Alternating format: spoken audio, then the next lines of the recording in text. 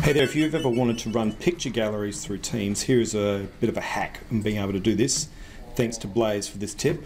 If you go into where you've got all your photos uploaded in Teams, you will see you can open an individual photo, but you can't scroll through them. So the photo opens and I have to go back and forward, right?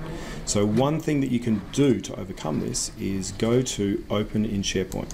Now I'm in SharePoint, you can see if I look at the uh, list as tiles, I can then scroll through the list when I'm in SharePoint. But even better, if you want to keep that list inside of Teams, all you need to do is copy the URL. So I'm going to the SharePoint list here, copy that URL at the top there, go back over to Teams and we're going to add a new tab in Teams and it's going to be a website tab.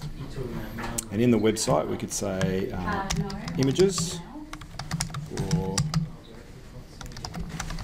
backgrounds and the URL is going to be that one that I just copied and I'm going to save that. And now you can see I'm looking at that website exactly within there. I've changed that uh, view to tiles.